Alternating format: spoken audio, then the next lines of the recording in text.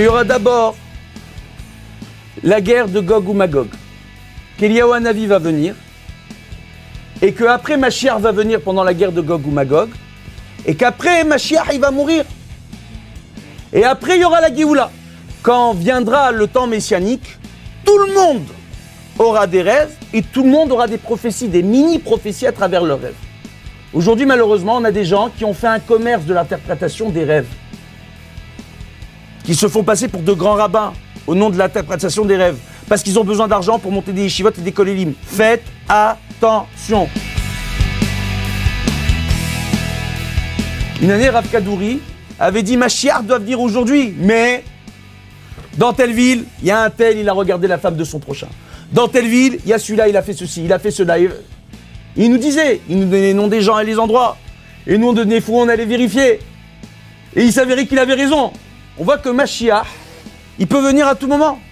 Date maximum où il viendra, quoi qu'il arrive, l'an 6000. Qu'est-ce qu'on n'entend pas? Et on entend des rabbins, des rabbins qui parlent contre les orthodoxes, qui parlent contre les yeshivotes. Ils n'ont pas été à la yeshiva.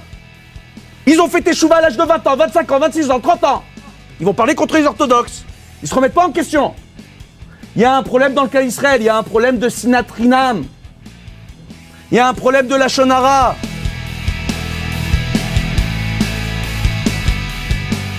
Il est interdit d'aller sur la place de la mosquée d'Omar.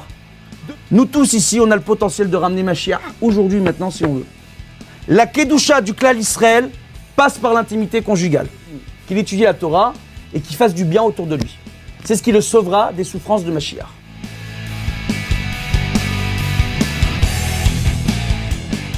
En réalité, par tous les poskim à la fin, que Gog, c'est l'Amérique. Le continent américain. C'est un ta'alir. Ce ta'alir-là, il peut prendre une semaine, il peut prendre 10 jours, il peut prendre 20 ans, il peut prendre 50 ans. Mais il peut aussi être annulé si on fait teshuva. Que tous les faux convertis et les soi-disant religieux, on parle bien des soi-disant religieux, vont tous être mis de côté par Dieu. Quand nous on vit dans l'angoisse, quand nous on vit dans la peur, Akadosh Baruch Hu, il nous pardonne toutes nos fautes. Chaque personne ici doit prendre sur elle une misva.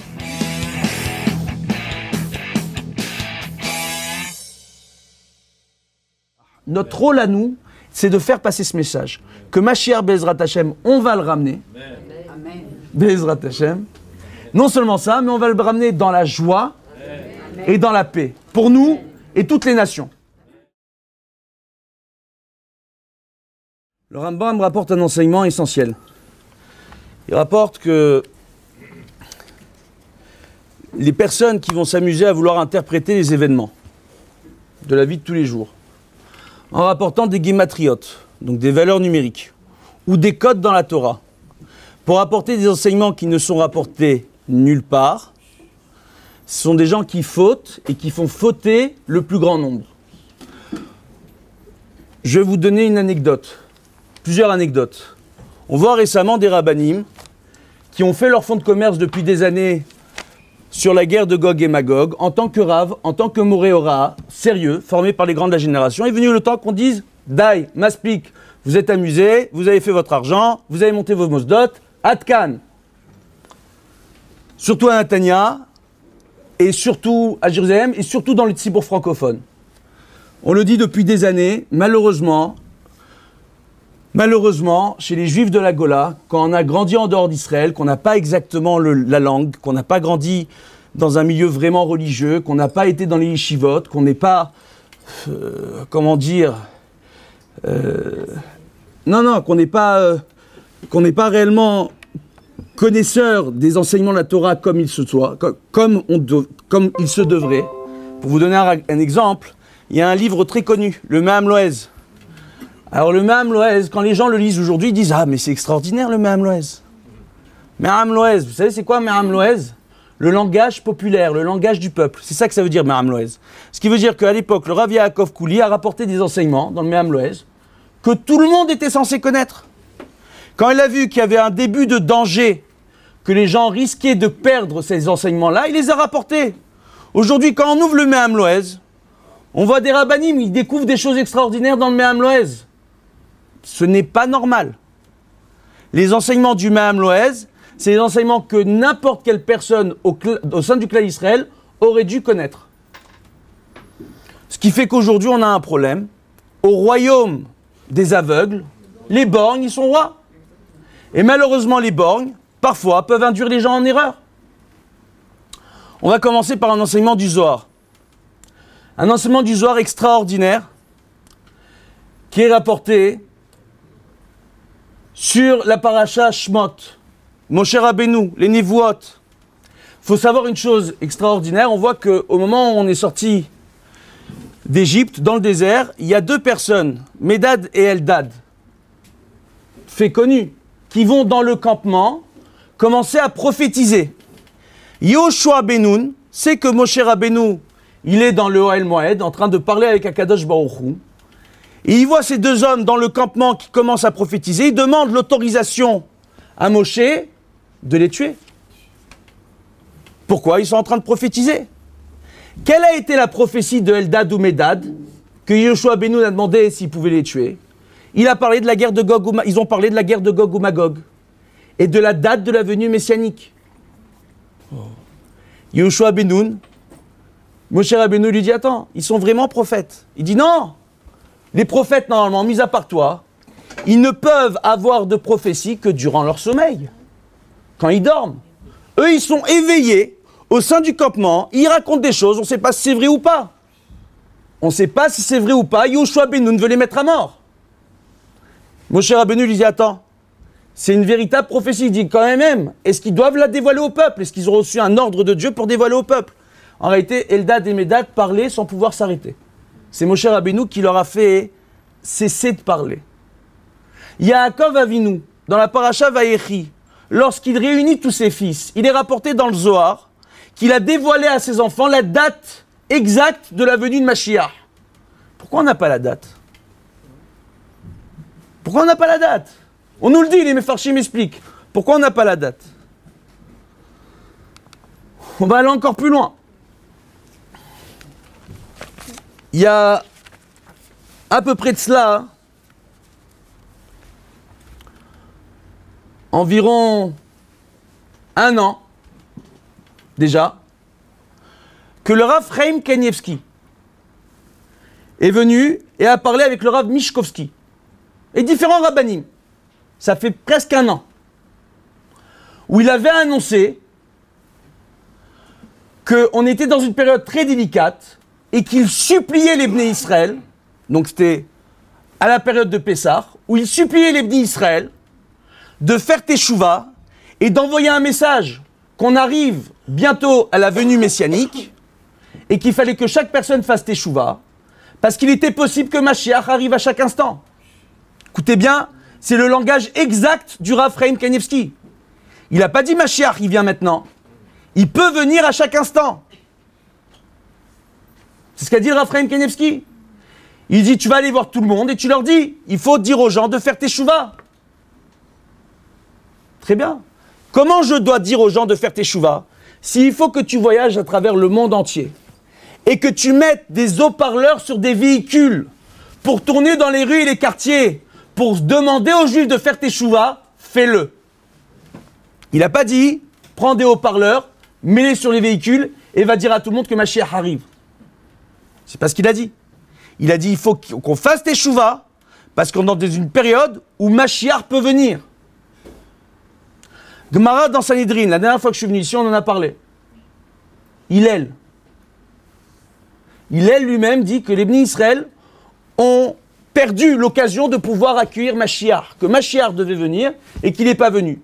Certains nous disent non, c'est Mashiach ben Yosef dont il parle. Et là-bas, on développe dans Sanhedrin. Et après, il y a une mahloquette entre différents Amoraïm sur les dires de Hillel. Ils n'ont pas vécu la même génération. Et ils sont tous descendants en potentiel de David Ameller. Tous. Pas un seul dit c'est moi Mashiach. Pas un seul.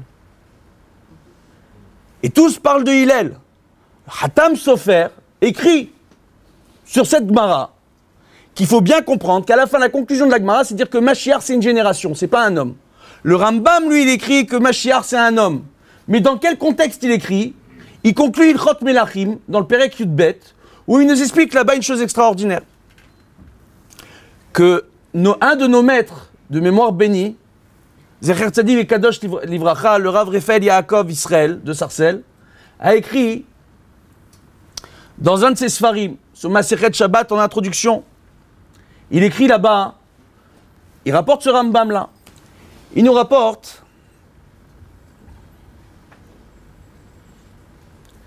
qu'il y aura d'abord la guerre de Gog ou Magog, qu'Eliyahu va venir, et qu'après Mashiach va venir pendant la guerre de Gog ou Magog, et qu'après Mashiach il va mourir. Et après il y aura la Géoula. C'est ce que rapporte le Rambam. Et le Rambam rapporte là-bas qu'il y a d'autres avis dans les Nevuot et dans la Gemara, où on dit d'abord c'est Eliyahu Navi qui vient, après, Mashiach vient. Après, il y a la guerre de Gog ou Magog. Et il y a un autre avis qui dit non, il y aura. Eliyahu vient. Il y a la guerre de Gog ou Magog. Et pendant la guerre, c'est Mashiach qui vient. Trois avis différents. Tous rapportés dans les prophéties. Allez vous amuser à regarder Yecheskiel, du Père Zayin jusqu'à la fin du bouquin. Donc à partir du chapitre 37 jusqu'à la fin, vous allez voir, vous allez devenir dingue. On parle là-bas d'un siège de 7 ans. Pendant sept ans, les Israël vont être obligés de tous s'armer de bâtons, d'armes en tout genre, pour pouvoir se défendre des agressions de leurs ennemis. Pendant sept ans. Avant réellement que Mashiach puisse venir. Ça s'est déjà produit dans le passé? Oui? Est-ce que ça risque de se reproduire? Oui? Un petit détail. On voit ces derniers temps, moi on m'a envoyé plein de films de morts cliniques ou de Bachurim qui ont fait des malaises à Rosh. D'accord? Il faut savoir que ça fait 3-4 ans que ce phénomène existe. Que chaque année après Rosh Hashanah, on nous met un film, c'est toujours les mêmes institutions, les mêmes personnes, les mêmes associations, qui nous mettent des films en ligne avec des enfants qui ont fait un rêve durant Rosh Hashanah, des enfants qui ne sont pas religieux, L'année dernière, on a un qui est arrivé du Rav Ovadia Yosef, qui l'a dit en, 2015, il n'a pas précisé quelle année hébraïque, il a précisé qu'il y aura la guerre de Gog ou Magog. Ça peut être maintenant, on est encore en 2015. Rav Ovadia Yosef, il donne différents détails. Maintenant, je vais vous expliquer le problème des détails. C'est que tous les détails qu'il donne, c'est toujours les mêmes enseignements qu'on connaît déjà. On les connaît déjà, les enseignements. Donc il n'est pas difficile de venir, et après, ces enfants-là, ils ont grandi, Dieu bénisse pour eux, avec des rabbinim, avec des associations en Israël, des rabbinim connus, qui pendant des années ont fait des, cours sur Gog ou Magog. À la première guerre du Golfe, on a dit Gog ou Magog. Deuxième guerre du Golfe, on a dit Gog ou Magog. Deuxième guerre du Liban, Gog ou Magog. Première guerre du Liban, Gog ou Magog. Gog ou Magog, ça n'arrête pas. Première guerre mondiale, Gog ou Magog. Deuxième guerre mondiale, Gog ou Magog. Je vais vous apporter tous les enseignements, tous les post qui en parlent, aux différentes périodes. Vous allez comprendre aujourd'hui que quand vous avez des enfants les années après les autres qui viennent et qui vous disent Nous, on a reçu tel enseignement, il y a premièrement différents points qu'il faut bien comprendre. Il faut savoir que concernant les rêves ou les névouotes, ou des gens qui passent un état de mort clinique, que parfois réellement ils voient des choses et parfois ils sont dans un état où ils rêvent. Dans les rêves, il y a l'Agmara nous rapporte que les rêves, c'est une forme de névoie, c'est une forme de prophétie. Il est rapporté dans les Nevi'im une chose extraordinaire. Dans Yoel, Perek Gimel, Pasuk Aleph, Halomot, Halomund, Chezioniot, Iru. D'accord? Quand viendra le temps messianique, tout le monde aura des rêves et tout le monde aura des prophéties, des mini-prophéties à travers leurs rêves. C'est écrit dans les prophètes. Il est écrit dans Iyov, Peref Klamet Gimel, Bahalom Igleozen Anashim. Donc, en rêve se dévoilera l'oreille des gens. Les gens auront dans leurs rêves des dévoilements divins. On parle encore de, de Nevuot. Et c'est marqué dans le, dans le Trumash, Sefer Bamidbar, Perek Yudbet, Pasuk Vav, Bahalom Edaberbo. En rêve, je parlerai, je lui parlerai qui au prophète. Donc on voit que le rêve, ça a une notion, tout le monde le sait, ça a une notion extraordinaire. On dit voilà, ça peut être une notion où le rêve peut être une prophétie. Très bien. des rabbinim ont toujours donné ces enseignements-là, ont donné des conférences sur les rêves extraordinaires, toujours en oubliant de mentionner un enseignement du Zohar, qui est capital. Il y a un enseignement du Zohar qui rapporte, et Bezrat Hashem, si j'ai le mérite, est-ce que ça marche Avec l'aide de Dieu, merci. on voit qu'il y a de la famille à moi dans la salle.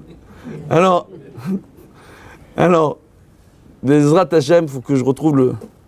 J'ai rédigé ça aujourd'hui, spécialement pour la conférence. Il y a un enseignement de Rabbi Shimon Bar Yochai. L'enseignement, c'est le suivant.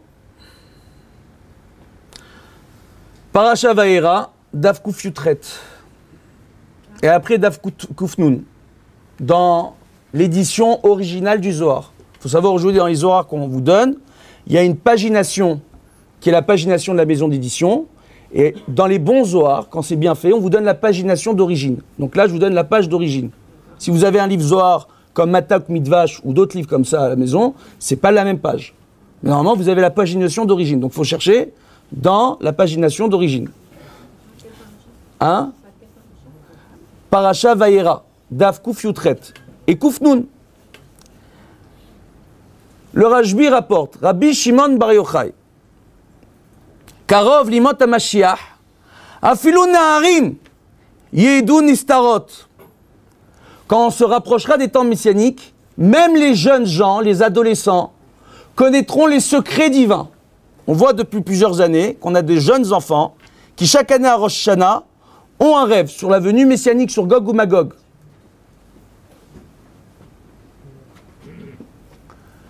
Il est rapporté dans le Zohar, au nom de Rabbi Shimon Bar Yochai, que c'est ce qui se passera. Les jeunes enfants auront des rêves. Maintenant, je vous rappelle que ce que rapporte Rabbi Shimon Bar Yochai, ce n'est pas de son fait. Il rapporte tout simplement les névouotes que j'ai rapportées juste avant, dans le Sefer Yov et dans le Sefer Yoel. Halomot, Irou. On rapporte là-bas que tout le monde, hommes, femmes, enfants, petits et grands, auront des dévoilements divins dans leurs rêves. Tout le monde. Le problème qu'il y a, c'est que cet enseignement-là, il est rapporté aussi par les rabbinim qui parlent de Gog ou Magog. Mais ils oublient la suite. La suite de cet enseignement, rapporté par Rabbi Shimon Bar c'est que dans le ciel, il y a plus d'une vingtaine de beddines. Certains dans lesquels vont siéger les grands rabbinim, les grands poskim de la dernière génération, qui connaissent bien les problèmes de génération, d'accord Pour juger les affaires. Donc il ne sera pas difficile d'imaginer aujourd'hui le Rav Ovadia Yosef, ou Rav Kadouri, ou Rav Mordechai Eliaou, ou le Rav Eliashiv, ou le Rav Vosner. Manque pas les grands de la génération, les grands poskim qui sont montés ces dernières années au ciel pour siéger là-bas et juger les affaires ici-bas de ce monde, parce qu'ils connaissent la génération. Mais il y a d'autres beddines dans lesquels il y a des prophètes, d'anciens prophètes, qui étaient dans ce monde, ou des malachim, qui doivent juger d'autres affaires. Kadosh Baruch c'est pas simplement le juge du Olamazé. Il doit juger toute la création dans son ensemble. C'est quelque chose qui nous dépasse. La création matérielle, même si on a l'impression que la galaxie est immense, la création matérielle, comme c'est rapporté dans le Zohar, elle a une limite. Comme c'est rapporté dans l'Otzrat Traim, c'est une poche de gaz qui se gonfle, qui se gonfle, qui se gonfle, et d'année en année qui va s'élargir. Il y a une théorie aujourd'hui scientifique, depuis une vingtaine d'années, sur l'explosion de l'univers. La poche de gaz, c'est écrit dans le Zohar. Welcome. On voit en réalité qu'il faut bien faire attention aux façons qu'on peut avoir d'interpréter les choses. Il est rapporté dans la Gemara qu'un rêve n'est rien jusqu'à qu'il soit interprété. Chaque rêve, il est à prendre au sérieux. Maintenant, il y a certains rêves par rapport à certaines heures de la soirée qui ne veulent rien dire. Il y a d'autres rêves à la fin d'un cycle de sommeil, en milieu de nuit ou juste avant de se réveiller, qui peuvent vouloir dire quelque chose. Quoi qu'il arrive, si on a un mauvais rêve, soit c'est notre inconscient qui veut nous envoyer un, message, et c'est entre nous et nous-mêmes, on doit se remettre en question. Soit c'est réellement, ça peut être réellement un message de l'au-delà. Il faut aussi se remettre en question.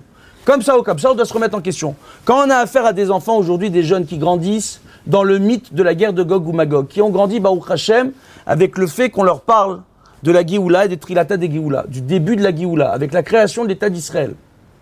C'est pas rien.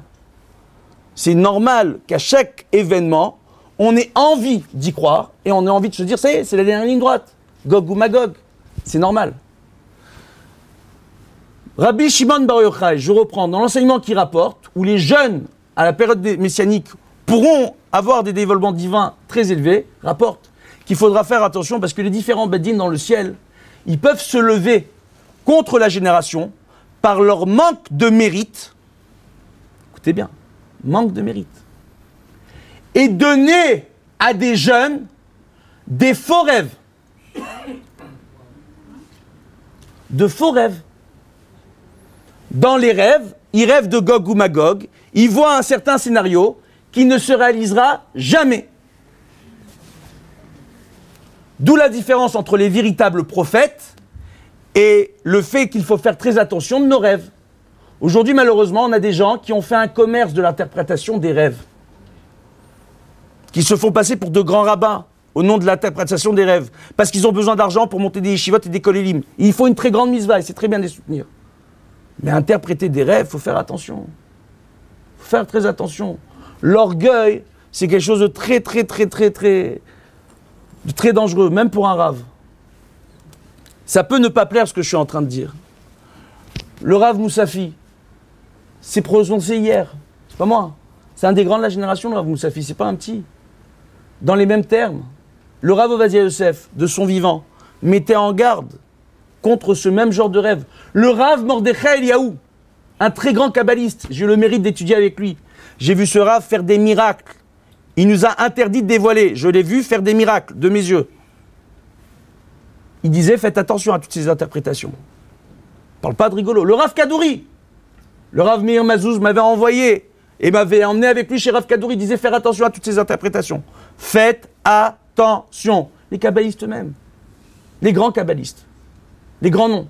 Faites attention, pourquoi? Parce que parfois, tout simplement, on peut vouloir vous dire, attention, Machiach, il arrive tout de suite. On va vous donner des dates. Machiach, il arrive. Alors, quand on fait des calculs al Kabbalah, ça se fait tous les jours chez les kabbalistes. Hein. Certains parlent de Kafalev Becheshvan, Midatadin. D'autres de Yutet Bekislev, ça va faire plaisir à nos frères Lubavitch. D'accord C'est le dévoilement du Tanya, l'Admour Azakel qui est sorti de prison, Zecher Tzadik, Kadosh Livracha, etc.. Bref, ça peut faire plaisir. On parle de ces dates-là, mais il faut savoir que chaque année, les dates, elles changent. Une année, Rav Kadouri avait dit Machiar doit venir aujourd'hui, mais dans telle ville, il y a un tel, il a regardé la femme de son prochain. Dans telle ville, il y a celui-là, il a fait ceci, il a fait cela. Nous disait, il nous donnait les noms des gens et les endroits. Et nous, on devenait fous, on allait vérifier. Et il s'avérait qu'il avait raison on devenait fou. Il voyait ça, le Rav Kadouri. Il disait, on a raté à cause de celui-là, et celui-là, et celle-là, et celui-là, et celui-là, et celle-là. Il nous faisait une liste longue avec des, centaines de noms. On y était presque. À plusieurs reprises. Alors on va, on va, on va essayer de développer ensemble. Bezrat Hashem, ces différents points. Il faut bien comprendre que les enseignements qu'on rapporte récemment du Raphaël Kanievski, c'est des enseignements qui ont près d'un an. C'est pas d'aujourd'hui. Et Raphaël Kanievski, il n'a pas dit après Rosh Hashanah, il a dit tout de suite, il y a près d'un an. Il faut savoir que le Raphaël Kanievski, c'est un Rav qui est très sérieux. Il s'abuse pas du, tout à jouer les prophètes ou les babas. Il déteste ça. Mais il y a une chose qui est vraie chez ce Rav, c'est que comme il est marqué qu'on doit croire dans les 13 fondements de la foi du Rambam, que chaque jour Mashiach va venir, donc il faut rappeler aux gens chaque jour qu'il faut faire Teshuvah parce qu'il peut venir aujourd'hui. À partir du moment où on conditionne notre teshuva aux épreuves qu'on nous inflige, ce n'est pas une teshuva. C'est une peur. Quand la peur s'en va, la teshuva elle aussi. Et on monte et on descend. Que devient le din d'une personne qui se renforce en période de danger, qui fait teshuva à qui on enseigne des halachot. Et puis après, quand c'est passé, on oublie.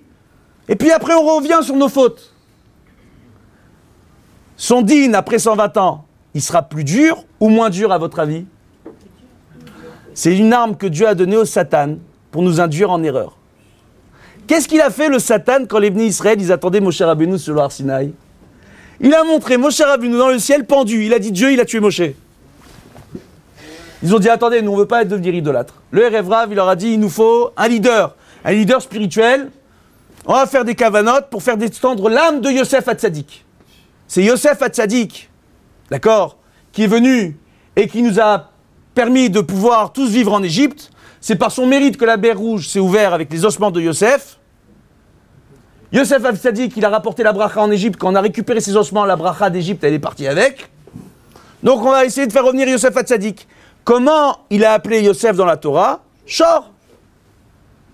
Ben Porat Yosef, Ben Porat Alehain, allez Shor, c'est Yosef. Et ça avait comparé au Shor. D'accord? Le bœuf, le taureau. Yosef aussi. On dit que Esav, c'est le Shor de la Touma. Yosef, le Shor de la Kedusha. Et que le feu de la Kedusha viendra éteindre le feu de la Touma. On parle de Mashiach Ben Yosef. Maintenant, il faut bien essayer de comprendre. À partir du moment où on sait que Machiar peut venir à tout instant, quand moi je viens et que je conditionne ma teshuva par rapport à la crainte et la peur, quel est mon mérite? Il est rapporté dans ma Maseret Souka Bet que viendra au moment de la mort de Machiar ben Yosef, tous les bénis Israël, devront faire le espèce de Machir Ben Yosef. Certains pensent que ben, Ben Yosef serait mort ou sera mort. On ne sait pas. Parce que certains disent qu'il est déjà venu. Quand on voit la Agmara, Zicharia, c'était Machir Ben Yosef. Il est déjà passé. Alors qu'il était Ben David. Et quand on voit après, qu'il serait déjà passé, très bien, donc on attend Machir Ben David. Maintenant, c'est quoi l'histoire? C'est que si on voit en réalité que Mashiach ben Yosef, il doit rapporter d'abord la Géoula, qui va, qui va mourir par la faute de Armilos. On va voir qui c'est ce fameux Armilos. Personne ne sait c'est qui Armilos. Armilos Aracha, à cause de la faute du Lachonara. C'est comme ça qu'on nous rapporte. On va voir. Bezrat Hashem, si on a le temps. On voit en réalité que Yosef Hatzadik, Baruch atah Adonai Eloheinu melech haolam. Juste une halakha, on rappellera, hein, pour ceux qui regarderont le cours en vidéo, qu'on ne répond à une bracha que si elle est diffusée en direct. Donc ceux qui ont des cours enregistrés, en audio, en vidéo, quand ils entendent une bracha et le tibour qui répond Amen, ils ne doivent pas répondre Amen. C'est enregistré. D'accord? Maintenant, on va voir. on va voir une chose qui est extrêmement importante. Bezrat Hashem. Yosef Hatzadik, donc on rapporte qu'il avait un potentiel. Ils ont voulu faire descendre, donc les bénis Israël au moment de la faute du Vaudor, l'âme de Yosef. Dans quoi? Dans un char qui s'est construit du même. On le connaît tous, je ne vais pas vous répéter le midrash. On va essayer de gagner du temps, il y a beaucoup d'enseignements ici à donner. Et on voit hein, que c'est le char qui est sorti. Il voulait un leader, il ne voulait pas faire Avodazara les Israël. Le Rav, eux, ils voulaient faire Avodazara. On dit ils ont fauté. C'est l'Yetzerara qui leur a montré. Quoi, l'Yetzerara, il nous a montré, oui ou non? Oh. On est dans la dernière ligne droite, il faut bien comprendre. Date de péremption de ce monde, comme tout produit que vous achetez dans les magasins, il y a une date d'expiration, c'est l'an 6000 du calendrier hébraïque. On est en 5776. Il reste pas beaucoup d'années devant nous. Les gens pensent que Mashiach, c'est maintenant. Ma chère, ça peut être maintenant, ça peut être dans 10 ans, ça peut être dans 100 ans. On est en train, ben oui, on est en 5776 jusqu'à l'an 6000. On a combien d'années, madame? Donc, on a plus de 100 ans. Alors maintenant, qu'est-ce qu'on voit? On voit que Mashiach, il peut venir à tout moment. Date maximum où il viendra, quoi qu'il arrive, l'an 6000. Comme on dit en anglais, oufa, c'est fini. L'an 6000, c'est fini. Donc il y a une date. Nous, ce qui est en train de se jouer, c'est notre teshuva. Non seulement notre teshuva à nous, mais l'éducation de nos enfants et de nos petits-enfants dans le Derech HaTorah. C'est ça qui est en train de se jouer. Alors est-ce qu'on suit ou est-ce qu'on ne suit pas? Il y a deux ans de ça, élection en Israël, campagne électorale, principal sujet, les Bnei en Israël qui vont pas à l'armée. Ils travaillent pas, ils vont pas à l'armée. On voit dans les chiffres du Bitoire Léomi, la différence entre les hommes orthodoxes et les autres hommes en Israël, elle est de 3-4% en dessous du chiffre national. C'est pas du tout ce qu'on vous a raconté. Pas du tout ce qu'on raconte. La différence dans les chiffres, c'est 3-4%. Alors qu'est-ce qui se passe? Quand on va à Bnebrak, quand on va à Harim, 80%, 90% des hommes travaillent. 100% des hommes prennent un temps dans leur journée pour étudier au Beth Midrash. Certains une heure, d'autres deux heures, d'autres trois heures, d'autres quatre heures. Et une minorité étudie toute la journée quand ils sont jeunes. Arrivés à l'âge de 35-40 ans, soit ils ont réussi à s'imposer en tant que rabbin, soit ils vont travailler pour s'occuper de leur famille. À la demande des Gdoléadors.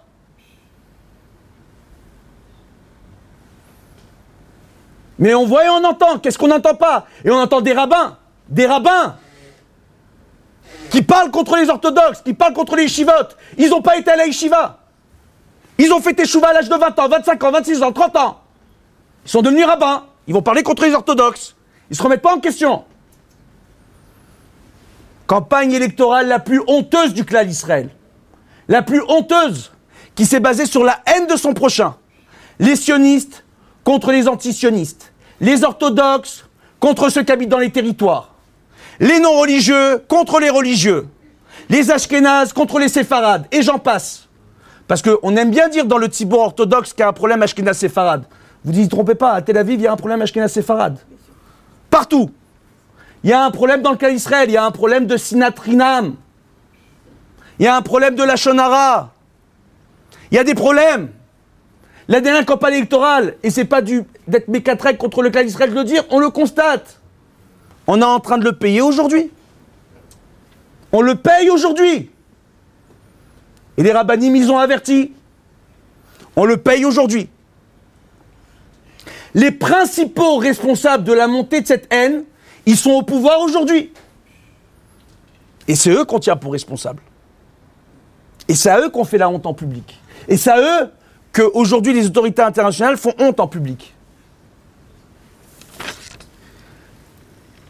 Il est rapporté que quand Bibi Netanyahu, une histoire vraie, hein, était ambassadeur à Washington, pour la première fois de sa vie, il est parti voir le rabbi de Lubavitch. Je ne suis pas Lubavitch. Je suis un bon juif et j'aime tous les juifs. Et j'aime tous nos rabbinis. Parti voir le rabbi de Lubavitch. Zecher Tzadiv et Kadosh Livracha. Et le rabbi lui a dit Tu sais qu'un jour, toi, tu deviendras Premier ministre en Israël. Mais c'est toi qui seras peut-être appelé à passer le flambeau à Mashiach. Mais toute ta vie, tu devras te battre contre 119 membres de la Knesset et 119 nations. Combien de membres à l'ONU? 193. Il y a encore quelques années, il y en a 195. Ils vont, ils sortent, ils rentrent. À l'UNESCO, 195. À l'ONU, 193. Là, mois de septembre 2015, mi-septembre 2015, nos amis palestiniens s'excitent, les Arabes israéliens s'excitent, commencent à faire des attentats. Qu'est-ce qui s'est passé? Il a été voté à l'ONU par 119 pays. Que le drapeau palestinien peut être dressé auprès de tous les autres drapeaux membres de l'ONU. L'Algérie, la Tunisie, l'Espagne et la France ont demandé qu'un vote soit passé à l'UNESCO pour condamner les agissements de Tsahal, qui eux viennent et agressent les Palestiniens, qui expliquent que les Arabes israéliens et les Palestiniens sont obligés de prendre des couteaux pour nous tuer. C'est nous qui les agressons. Ils demandent aujourd'hui à ce qu'enfin on reconnaisse que le Kotel Amaharavi, c'est le Kikar el Barak. Le Kikar el Barak, rappelons-le, quand on est arrivé en Israël, le Kotel Amaharavi servait aux Arabes. Il y avait des maisons là-bas. Ils allaient uriner contre le Kotel Amaharavi. Ils mettaient leurs poubelles là-bas. Les poubelles de toutes les maisons étaient là-bas. Quand on a récupéré le Kotel et qu'on a fait le Kotel, on a enlevé les maisons. D'un seul coup, ça devient une place, El Barak, qui fait partie de la mosquée Al-Aqsa. Et qui explique en réalité que tout leur débat, c'est pas uniquement sur la mosquée où certains juifs osent aller prier là-bas. Soit dit en passant, il est interdit à l'Alpé de monter là-bas. Interdit. Vous arrivez là-bas, il y a un sac de la rabbanoute, tous les grands rabbins d'Israël l'ont signé les uns après les autres, il est interdit d'aller sur la place de la mosquée d'Omar, de peur de se rapprocher du Kodesh à Kodashim. Dans le placement du Kodesh à Kodashim, on devient Chayav Karet. Tous ceux qui sont montés, qui ont fait monter des gens là-bas et qui ont excité, qui ont excité aujourd'hui, ils ont tous été au vert d'un Issour. Pourquoi? Parce que même si eux ont fait attention de ne pas s'approcher, nos soldats et nos policiers, quand après ils doivent calmer les Arabes là-bas, où est-ce qu'ils vont? Alors, c'est quoi? C'est il y a un danger de mort, c'est un cadeau honnête, on peut autoriser, ils deviennent Trayav Karet. Il y a un Chiouf Karet, pourquoi on monte? Il écrit clairement dans les écrits que le Beth Amikdash ne pourrait être reconstruit que par prophétie. Il faut un prophète, un vrai. Il n'y a pas de prophète. C'est écrit clairement. Alors après, il y a des débats. Mais les débats aujourd'hui par les posquibles et par les prophètes, clairement, c'est qu'il ne peut y avoir de, de Beth qu'avec un prophète qui nous dit maintenant, il y a le Beth Amikdash. Tant qu'il n'y a pas, Kadosh Baruch nous a fait une tova de permettre aux musulmans de construire la mosquée là-bas pour nous empêcher à nous de monter, pour nous empêcher à nous de devenir tous Rayav Karet, les uns après les autres, d'être retranchés du clan d'Israël. Mais ça, on l'oublie. Et ça, les Arabes, ils le savent. Ils connaissent les psakim des rabbins. Ils vont dire les rabbins et les orthodoxes et tous les rabbins, ils ordonnent aux gens d'aller prier là-bas, ce qui est faux. Ce qui est faux. Ils mentent. Ce sont des menteurs. Ils ont toujours menti. Mais pourquoi ils mentent? Est-ce que nous, on ment pas à Kadosh Baruchou Quand on dit qu'on aime sa Torah, mais qu'on ne passe pas forcément le temps qu'on pourrait pour l'étudier, qu'on dit qu'on aime le Shabbat, mais qu'on ne cherche pas réellement à étudier les halachot de Shabbat, Mida, Keneged Mida, une mesure pour une mesure. C'est très très dur ce que je suis en train de dire. Mais ça, c'est un message qu'il faut faire passer dans toutes les kilotes. Pourquoi? Parce qu'il est rapporté dans le Zohar que la plus grande force du Yetzara, c'est de donner des fausses dévotes aux jeunes d'Afka, qui vont toutes se ressembler, pour que les gens se renforcent quand ils ont peur et après ils oublient. Les gens hein, risquent d'oublier un détail, que si réellement les névotes sont vraies et qu'elles ne se réalisent pas, donc une guerre de Gog ou Magog terrible annoncée, qu'elles ne se réalisent pas, c'est tout simplement parce qu'il y a une autre option. Il y a l'option de la Géoula Bebidatarachamim, sans guerre, sans Gog ou Magog, sans tout ça. Il y a une option comme ça si on fait Teshuvah. Si on fait Teshuvah.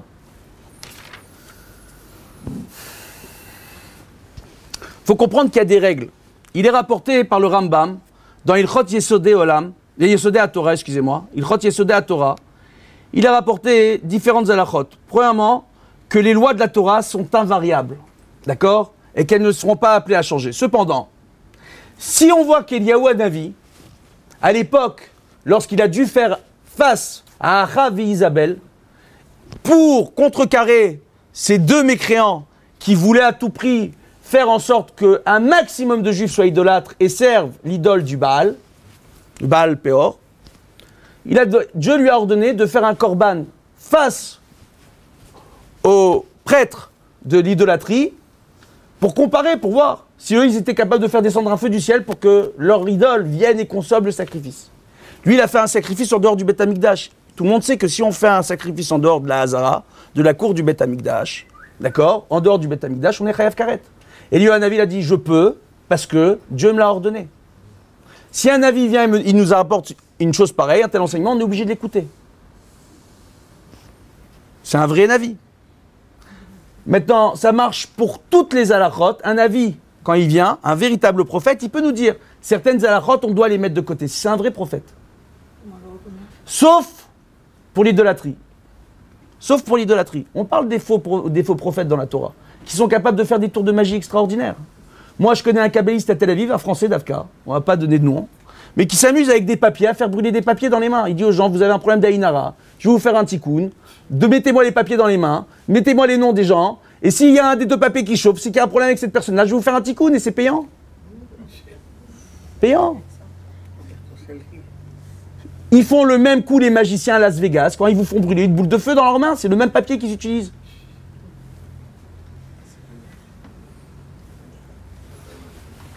Qu'est-ce qu'on peut faire? Et les gens, ils plongent. Ils y vont les uns après les autres chez ces rabbinim-là. Qu'est-ce que nous, on peut faire? La Torah, elle nous dit quoi?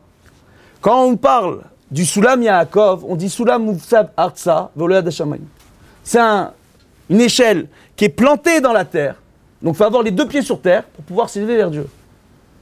Pas commencer à chercher les raisons mystiques pour s'élever vers Dieu. Ça commence par des lois simples.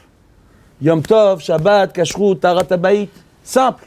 Ça nous paraît loin, mais c'est simple. Quand tout ça est appliqué dans la maison, au fur et à mesure, on comprend, il y a une logique qui s'installe dans la maison, dans le foyer. Il y a un respect mutuel qui s'installe. Quand c'est appliqué comme il faut. On voit par rapport à ça, donc, que le Rambam, lui, nous rapporte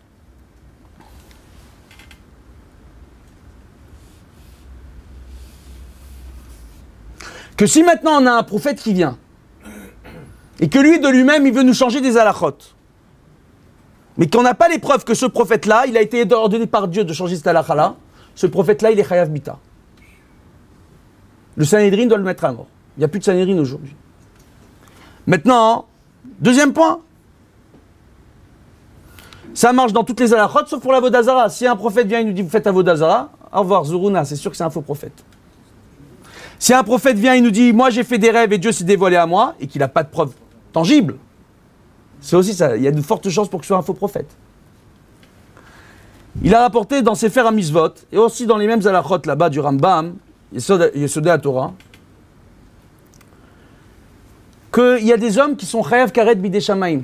Parmi eux, il y a les prophètes qui annoncent, des vrais prophètes qui annoncent une prophétie, mais qui ridiculisent leur prophétie, qui la mettent de côté qui se détournent, qui ne vont pas l'appliquer à eux-mêmes. Ils vont dire aux gens, vous devez faire tes vous devez vous renforcer sur Shabbat. Et le prophète en question, lui, ne se renforce pas sur Shabbat. Celui-là, il est chayav des shamaim. Donc même au prophète, il y a des lois qui s'appliquent. Donc même un homme, quand il est prophète, il y a des lois qui s'appliquent à lui. Il n'est pas au-dessus des autres hommes. C'est le messager de Dieu. Il peut se tromper. Il peut être condamné, bidé shamaim, chayav mita, bidé shamaim. On l'a vu avec Eliyahu Hanavi. Eliyahu Hanavi, il a refusé de ramener la pluie en Israël. Parce qu'ils disaient les Juifs se trompent trop. Il faut trop, il faut trop à Vodazara. Maintenant, ils commencent à faire tes choix à m'écouter, mais ça suffit pas. En plus, il faut tous la Brit Mila. Bon Dieu, il lui a dit maintenant, c'est plus toi le prophète, c'est ton élève Elisha. Toi, tu vas monter au ciel et je vais t'obliger à aller dans chaque Brit Mila. Raison pour laquelle on rapporte dans les alachot, dans l'Yoredea, les alachot de la Brit Mila, qu'à chaque Brit Mila, on doit rapporter le kissé d'Eliyahu Navi pour forcer Eliyahu à venir. Il doit constater qu'aujourd'hui on garde la Brit Mila. Un prophète, à l'époque, vous savez c'est qui Ahab? C'était un homme dans la Gemara, on rapporte qu'il était capable de faire plus de 700 drachot sur un enseignement de Torah. C'était un, roi qui était tzaddik. Il a viré Racha, il a épousé, il a épousé Isabelle, la fille d'un roi Goy. Un tzaddik. Dieu est venu se dévoiler à lui, il lui a dit écoute, je t'en supplie, fais tes chouvas. Fais tes chouvas. Il dit ok, moi je veux bien faire tes chouvas, à quelles conditions? Qu'est-ce que tu me donnes en échange? Il dit au Gan Eden, tu marcheras à ma droite. Il dit d'accord, il y aura qui avec nous? Il dit il y aura David Ameller. Il dit ok, super. C'est qui le premier? C'est David Ameller. Il a dit non, je fais pas tes chouvas. Un homme qui connaissait toute la Torah. Et il a obligé les Israël à devenir idolâtres. Et c'était ça toute la génération. Yechiel, membre de la famille de Ahab, il était fier de reconstruire la ville de Jéricho. Que Yoshua, il avait dit, cette ville ne sera jamais reconstruite. Que celui qui essaiera de reconstruire cette ville, sa famille périra. Le jour il posera la première stèle, ses enfants aînés mourront. Le jour où il inaugurera les portes de la ville, ses derniers petits mourront. C'est ce qui s'est passé à ce Yechiel-là. Ils n'ont pas écouté. C'est ça la génération qu'il a, il y a un avis au face de lui. Que des orgueilleux qui veulent rien faire. Ahab, il vient et lui dit Dis-moi, je vais te dire une chose. Je pose une question. Il marqué dans la Torah que si on ne fait pas la Torah, il n'y aura plus de matar, il n'y aura plus de pluie. Pourtant, nous, on a la pluie ici. Et Yahou lui répond? La pluie là-bas, qu'il n'y aura plus de pluie, on parle de Igvad Emshicha, la génération messianique, où seront des gens qui fauteront sans connaître les lois. C'est pas pour vous. Pour vous, Dieu, il vous laisse fauter. Il vous laisse fauter, fauter. Il a rapporté qu'il est une misva. de mal parler de ceux qui se comportent mal pour essayer de leur faire faire teshuva. Après qu'on ait parlé avec eux, en privé, on a essayé de leur faire faire teshuva, ils n'écoutent pas, allez, on va parler en public. Ce qui explique que ces dernières années, on a vu des grands de la génération qui sont sortis contre des rabbins connus. Parce que les rabbins, ils nous disent qu'ils ont essayé de rentrer, de parler, etc. Mais il y a plein de rabbins qui ont essayé de parler avec ce rab. Ou avec d'autres rabbinim, ils n'ont pas voulu écouter. À partir de ce moment-là, on n'a pas besoin de juger le rave devant d'autres rabbinim. On a essayé de parler, il ne veut pas écouter. Oufa, ça c'est fini. Ça peut vous paraître très difficile. Ça peut vous paraître extrêmement compliqué. Mais on est dans une des générations les plus embrayées du monde. On est dans la génération qui fait partie de Igva Demshicha, le talon de Mashiach. Nous tous ici, on a le potentiel de ramener Mashiach aujourd'hui, maintenant, si on veut. Ayom imbekolo tishmao. Aujourd'hui, si vous écoutez sa voix, c'est le potentiel de notre génération. Et, et c'est pas comme on pense, hein. C'est pas forcément du jour au lendemain tous devenir des orthodoxes, chapeau et barbe. Chacun à son niveau qui se renforce, mais qui fait de tout son cœur. Mais on fait attention à ce qu'on dit, à ce qu'on regarde, à ce qu'on voit. Aujourd'hui, la télévision, Internet, on s'ennuie. Des programmes sur Internet, l'Aistorna. ben oui. Moi, j'ai le cas de parents ici à Natania qui ont voulu sur Internet mettre les derniers Walt Disney qui sont sortis au cinéma. Les gosses se sont retrouvés sur des sites pirates. Il y a une fenêtre qui s'ouvre. Boum. Ils ont mis tous les logiciels possibles pour bloquer. Et les pirates qui sont derrière, ils trouvent les moyens de, détourner le logiciel. À chaque fois, il faut faire des mises à jour. C'est sans fin. On devient esclave de l'ordinateur. Des gens, ils perdent leur temps à faire des mises à jour sur leur ordinateur, à chercher des programmes. Pour essayer de se protéger, on est devenu esclave de ces trucs-là. Il y a une fenêtre qui s'ouvre devant le gosse. L'Aistarna. Au lieu d'avoir Blanche-Neige et les sept nains, excusez-moi, on a Blanche-Neige et les sept mains qui s'ouvrent. Mais ça vous fait rire. C'est une des fautes les plus graves qui puissent exister pour le clan Israël. La Kedusha du clan Israël passe par l'intimité conjugale. C'est une des fautes les plus graves. Et aujourd'hui. Alors maintenant, Bezrat Hashem, on va rentrer dans le cours. Eh, maintenant, j'ai vidé mon sac. Je me sens mieux. Parce que je voulais savoir, les prophètes, comment on sait si un prophète est vrai ou non? Parce que ah, d'après ce que vous nous laissez entendre, il n'y a pas de solution au problème. Donc on pense quand Moi, je suis un peu loubavite sur les bords, donc je pense quand même que le rabbi a dit et a crié avant, le rabbi Kaneski, avant tous les rabbinim, eh ben on l'a fait. Nous, on est non, mais il y en a d'autres qui ont crié avant le rabbi de Lubavitch. Hein. Excusez-moi. Mechila. Bah, vous ne les avez pas entendus parce qu'à leur époque, il n'y avait ni Internet, ni la télé, ni rien. Mais le rabbi était sur les écrans déjà partout. Bah, je comprends, je comprends très bien. Mais le rabbi, il rapporte le Rambam. Il rapporte le Rambam Il rapporte le Rambam. Le Rambam, c'est un des premiers qui a crié. Il rapporte le Ramchal Ramchal, Ramchal, Rabbi Moshe Chaim Lusato. Vous avez entendu parler de lui? Messilat Yesharim. Vous avez entendu parler de lui? Alors lui, pas il a crié sur tous les toits que, que il allait venir. Pas il a donné tous les simadim. Il a tout donné. Bien avant tous ces rabbinim-là. Alors, je veux bien vous écouter, je veux bien entendre ce que vous dites, mais faites attention. Il est stipulé que le prochain prophète dans le clan d'Israël, c'est Mashiach et qu'Eliyahu David viendra l'annoncer. C'est le siman pour le clan d'Israël. alors, c'est quoi le siman pour que nous on le reconnaisse? C'est ça que je vous Eliyahu Navi. Eliyahu Navi, il va venir. Mhm. C'est lui, c'est lui, qui va annoncer les choses et qui va pouvoir tout. On va, on va tout expliquer. Alors, ce que je vous demande maintenant, décompresser. Décompresser. On va démêler tout ça. Décompresser. Décompresser. On va décompresser. Baruch Hashem, je vous explique, je vais, vous expliquer. Baruch Hashem. Il y a des rabbinim comme le rabbi de Lubavitch, qui a une époque critique. Il faut rappeler, le rabbi de Lubavitch, lui, il n'a pas commencé dans les années 60 ou 70. Hein. C'est déjà ah, bien avant, il était en Russie, Ben Porat Yosef, il était connu pour être un Ilouille, que son père le cachait à la maison, tellement il étudiait vite, tellement il était fort dans l'imoud. Il y en a eu d'autres. Il y a eu d'autres, il y a eu le Rav Shlomo Zalman, de la famille du Gaon de Vilna, le papa. Quand il est venu au monde, quand il est venu au monde, il est sorti du ventre de sa mère, il faisait les brachot, tout le monde a témoigné de ça. avant que sa mère lui donne la tétée, il faisait Shakoni Abidvaro, il, il bénissait, il est sorti du ventre de sa mère, il a fait brachot. Tout le monde a témoigné de ça.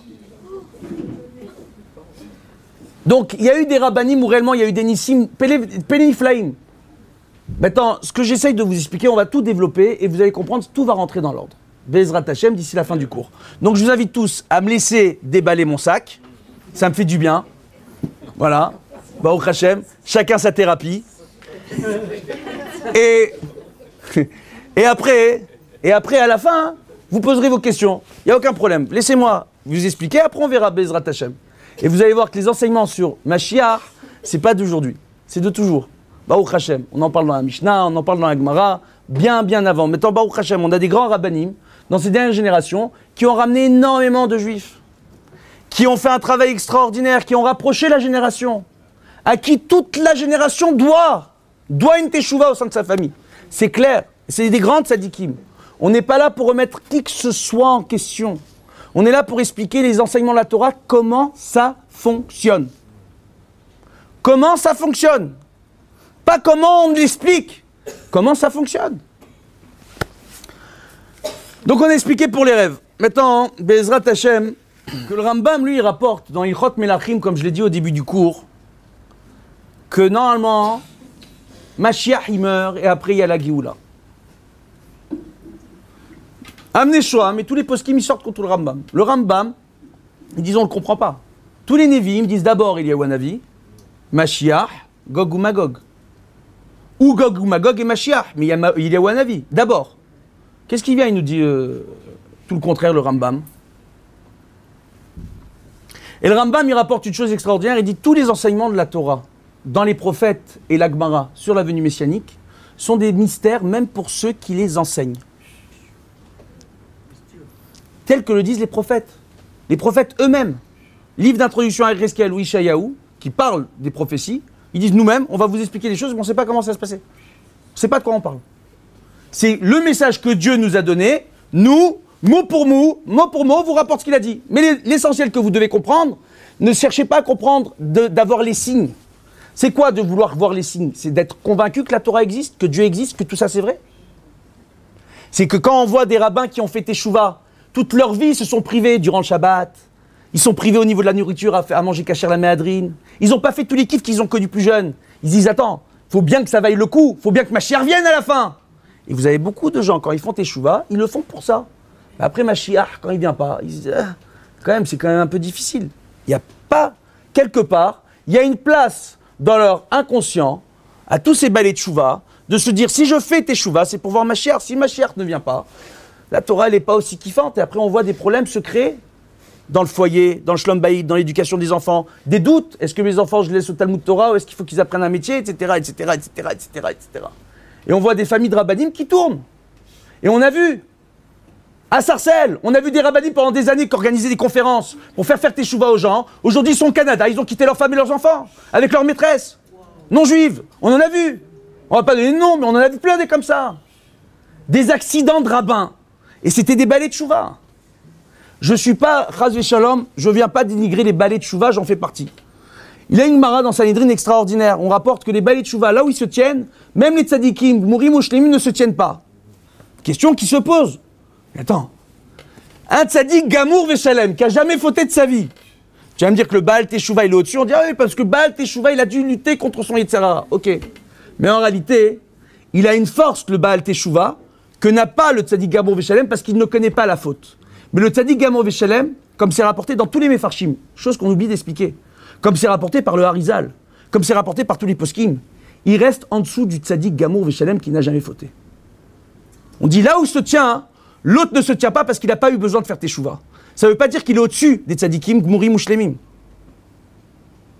Et c'est comme ça dans le Ran, dans le Roche, dans le Rajba, dans le Ritba, par le Harizal, c'est rapporté. Dans le Midrash, dans le Zohar.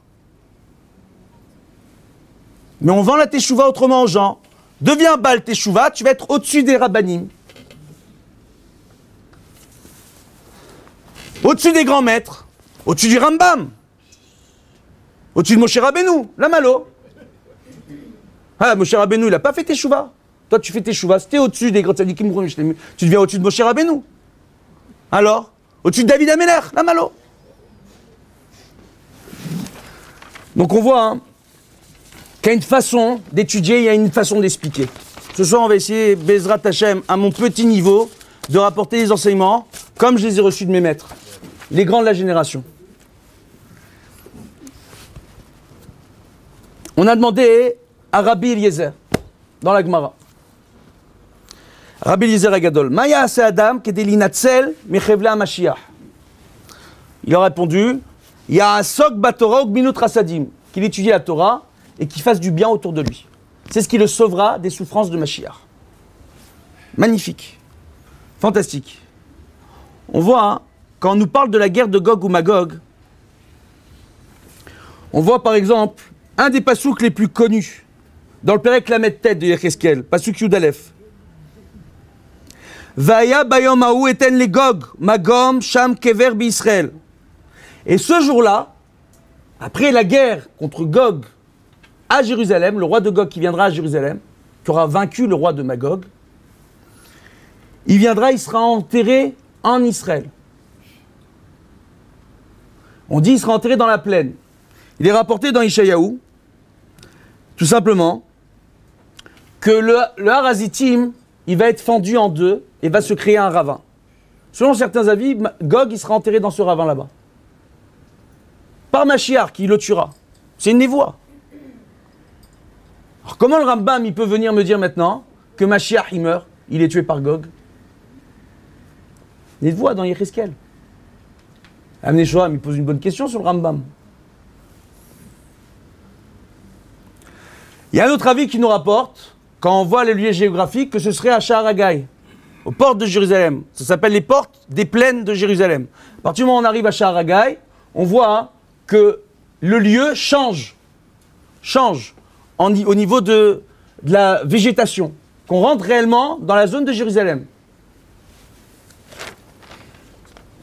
Il est rapporté que là-bas sera enterré Gog, qui sera un dirigeant. Il sera enterré avec les gens qui susciteront sa guerre. Et là, je vous rends, là ça va devenir intéressant. À Charagaï, il y a un imam, l'imam Ali. Charagaï, ça veut dire la porte des, plaines. Comment on dit en arabe la porte des plaines? Bab el-Wed. Vous avez déjà entendu parler de cette expression Bab el-Wed? C'est Charagaï. Demandez aux Arabes, allez là-bas, vous allez voir, c'est marqué Bab el-Wed. La porte des plaines, Wed, les plaines désert, les plaines. Hein? Eux, ils appellent ça Wed. Maintenant, c'est des Naharot là-bas. Toutes les plaines qui sont là-bas, toutes les plaines qui sont là-bas, pour la majeure partie d'entre eux, ce sont des fleuves qui sont desséchés. Donc les plaines. Shaharagay, en hébreu, Gai, c'est une plaine. Donc eux, ils appellent ça Wed. Là-bas, il y a cet imam qui est enterré. On rapporte que la guerre de Gog sera Gog, il sera enterré auprès d'un des principaux dirigeants, cet imam Ali. Il est très saint dans le, Coran. il fait partie des hommes saints du Coran. Aux yeux des musulmans. Gog sera enterré là-bas. On a un dirigeant mondial enterré là-bas jusqu'à aujourd'hui? Non, la guerre de Gog ou Magog. On peut comprendre si Gog doit être enterré en Israël, soit il est enterré dans le ravin.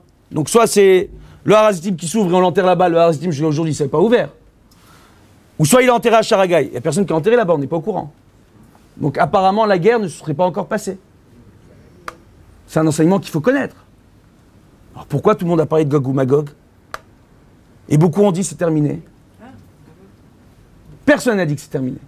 Tous les poskim qui ont parlé de la guerre de Gog ou Magog, dans les dernières générations, il y a des poskim qui, qui ont dit que la guerre de Gog ou Magog commencera à la période de la Deuxième Guerre mondiale. Mais se terminera, comme il est rapporté dans les prophètes, avec la venue d'Eliyahu Mashiach. Donc entre-temps, ça continuera. Depuis la Deuxième Guerre mondiale, on a des guerres sans fin.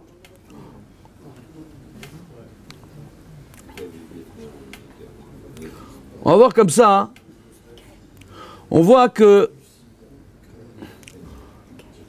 On voit dans le Otsrot Acharit Ayamim, Perekhe, on rapporte que Mashiach ben Yosef sera tué par Armilos. Et Armilos, en réalité, c'est Gog. Donc en réalité, c'est un enseignement d'un Rishon. Et le Rambam, en réalité, nous dit quoi? Comme Mashiach va mourir, et après, il y a la guerre de Gog ou Magog, il y a une vie avec Mashiach qui viennent, il nous parle de Mashiach ben Yosef, qui va être tué par Gog. C'est ça que nous dit le Rambam. Et c'est ça que le Havdé Shoham ne comprend pas. Parce que cet enseignement-là, le Havdé Shoham ne le connaît pas.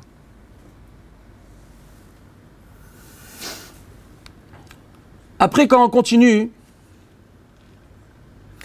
on rapporte dans la Gemara Bavli, dans Yoma, Dafiou Damoudalef. Il est expliqué, selon la Girsa de Rabbeinu Hananel, d'accord, que Gog ou Magog, que Magog, selon certains, ce serait le Canada ou l'Amérique. Et Rabbeinu Hananel rapporte non, c'est pas le Canada, c'est pas l'Amérique, c'est un pays qu'on appelle Ginta, et quand, dans la Mishnah on l'appelle Germamia, et que c'est Germania. L'Allemagne. Magog. Attendez, attendez. Regardez. Mais ça, c'est la Gemara, c'est Rabbi Hanania, c'est. Alors, on en est où? Elle est où l'Allemagne là? Et à la fin, on voit dans le Sefer Kadmoniot, Chelek Aleph Perek ce sont que des Rishonim, d'accord? Et que des enseignements qui sont rapportés à l'époque du Talmud par les Rishonim. On nous rapporte en réalité que Magog, c'est Kafkaz. C'est l'Europe de l'Est, la Russie.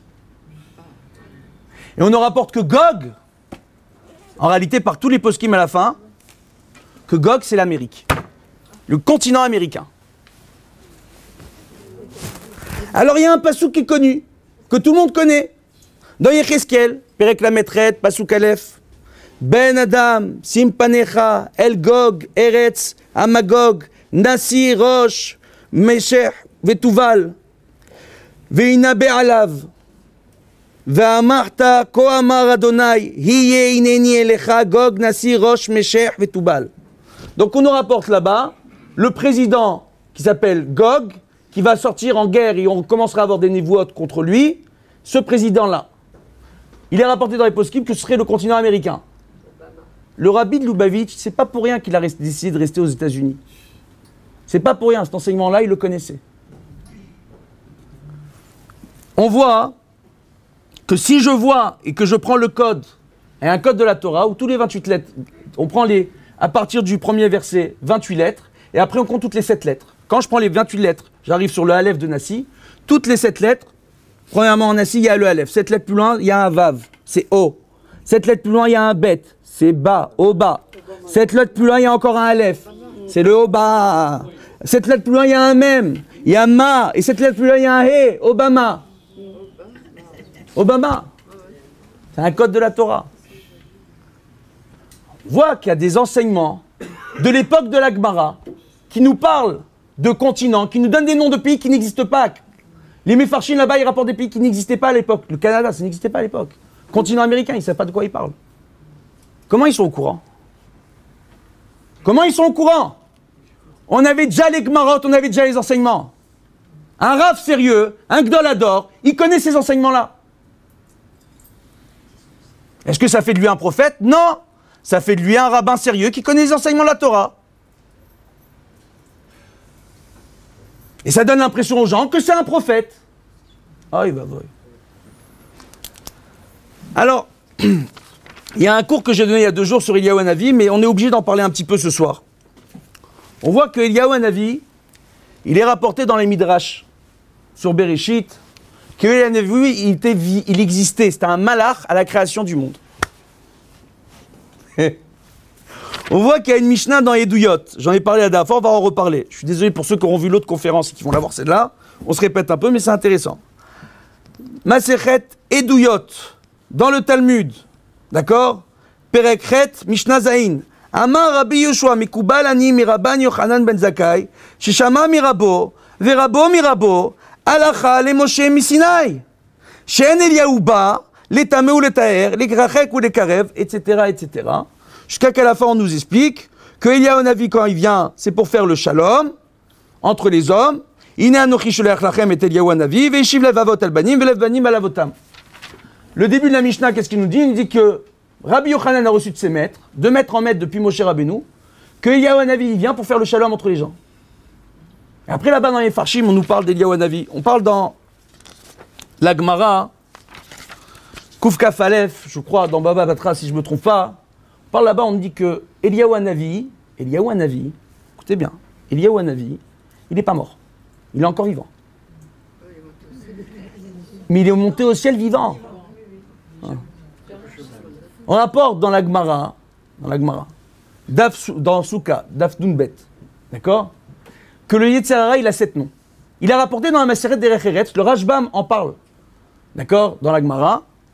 Il, il est rapporté dans la Maseret des Recheretz qu'il y a sept sadikim qui ne sont jamais morts.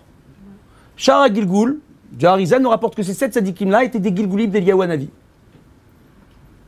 Comment c'est possible? Il est vivant, il est vivant. Non, en réalité, quand on parle de Gilgul d'Eliyahu ils ont tous eu, à un moment donné, un nitzot du malach Eliyahu qui est venu en eux pour dévoiler des choses à la génération. Quand on voit un grand de la génération qui arrive à voir des choses, qui arrive à travers son étude à voir le roi Hakodesh, le Chazonish en parle. Il dit il y a deux rois Hakodesh. Il y a le roi Hakodesh, le souffle divin qu'on peut avoir parce qu'on est prophète. il y a le souffle divin qu'on peut avoir par le Da'at Torah, à force d'étudier la Torah. Force d'étudier la Torah. Ce souffle divin-là, on appelle le souffle, le souffle divin, ça s'appelle aussi le roi HaKodesh, qui est moindre, qui est bien en dessous du niveau du prophète. Mais on peut y arriver. Qui nous dévoile ce souffle divin-là? Eliyahu Hanavi. Donc un rave, il peut avoir des dévoilements d'un seul coup pour la génération, à travers son étude, que Eliyahu Hanavi va lui éclairer ses yeux pour comprendre comment rassembler toute l'étude. Sans avoir jamais vu Eliyahu Hanavi de sa vie. Peut-être en l'ayant vu. Il y a toujours un tzaddik dans la génération qui a le mérite d'étudier avec Eliyahu Navi chaque nuit à là, comme il est rapporté. Qui sait On ne sait jamais. On a des doutes sur certaines personnes, on a eu des doutes, plus que des doutes sur d'autres personnes, y compris de Rabbi Lubavitch. D'accord? Aujourd'hui, on ne sait pas avec qui étudier Eliyahu Navi tous les soirs à là. On voit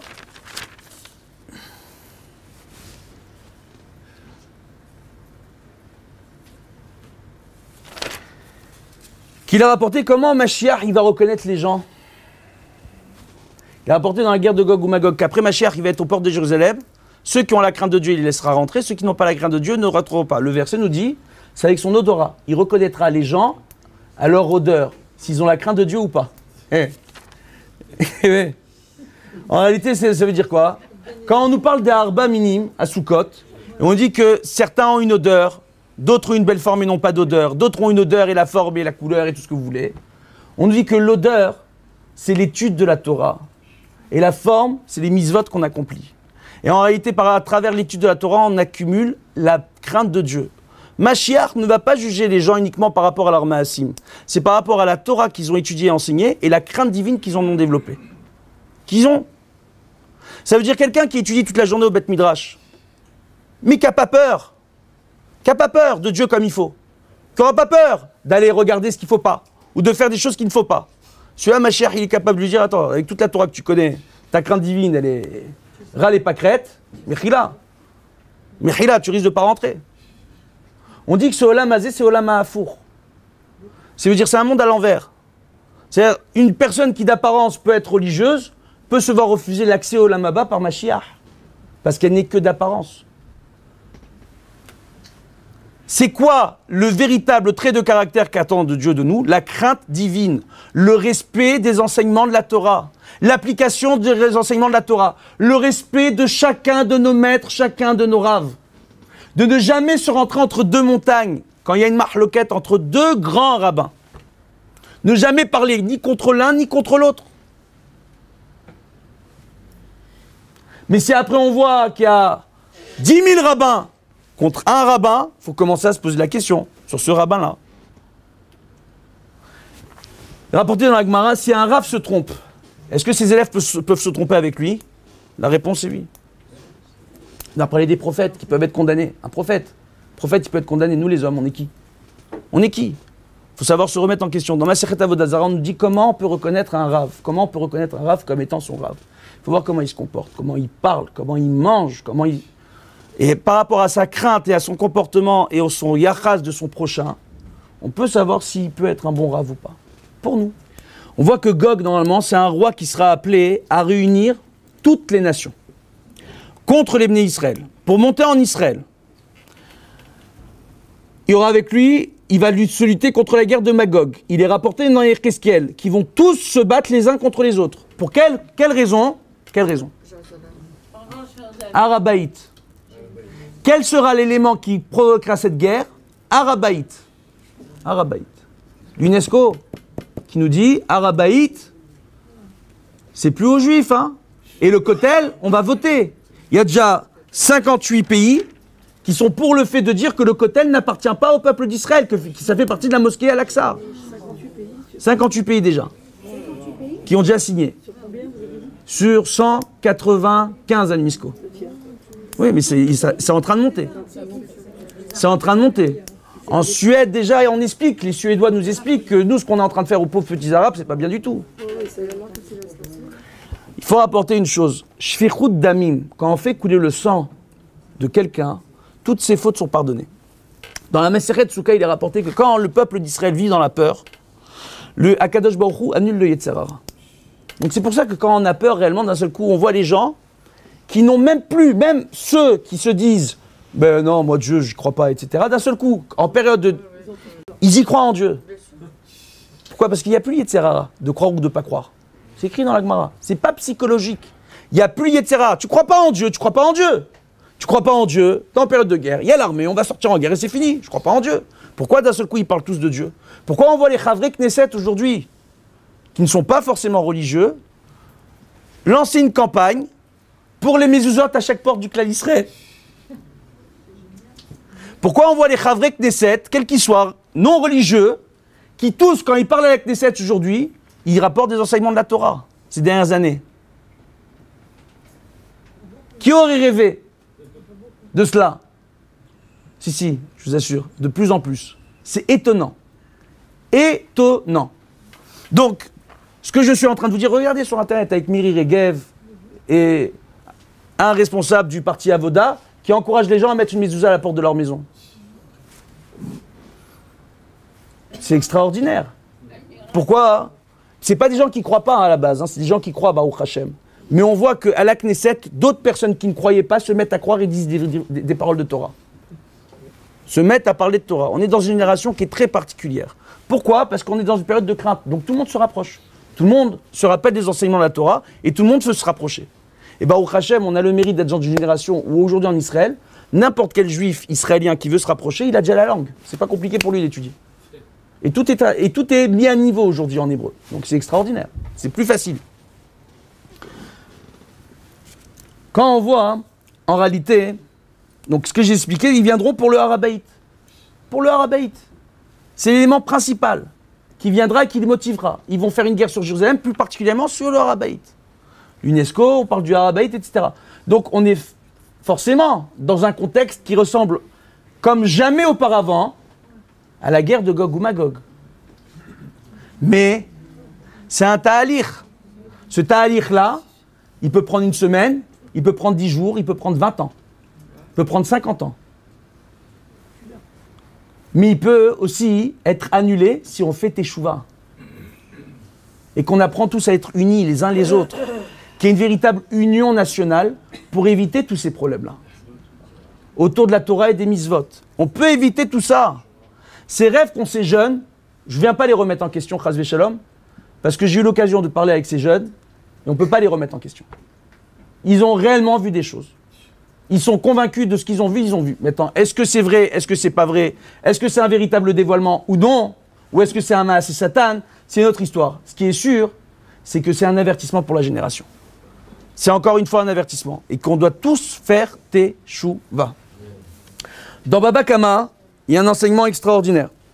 Dav Gimal il y a une mahloket. Quand on voit là-bas le premier période, Arba Avot Nizikin, d'accord? On parle de Mavé. Mavé, on ne sait pas c'est quoi exactement, on dit c'est peut-être un homme.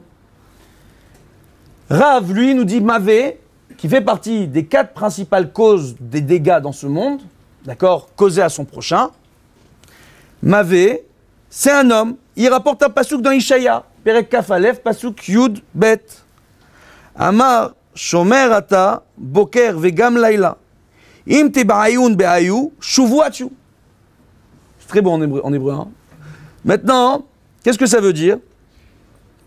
Il dit que l'origine du, du, terme mavé, celui qui pourrait vouloir, qui a appelé mazik, un homme à la fin de la maskana, le mavé c'est un homme. C'est un homme qui veut causer du, du, tort à son prochain, qui veut être mazik. Volontairement ou involontairement. Comment involontairement il pourrait vouloir être mazik? Tout simplement.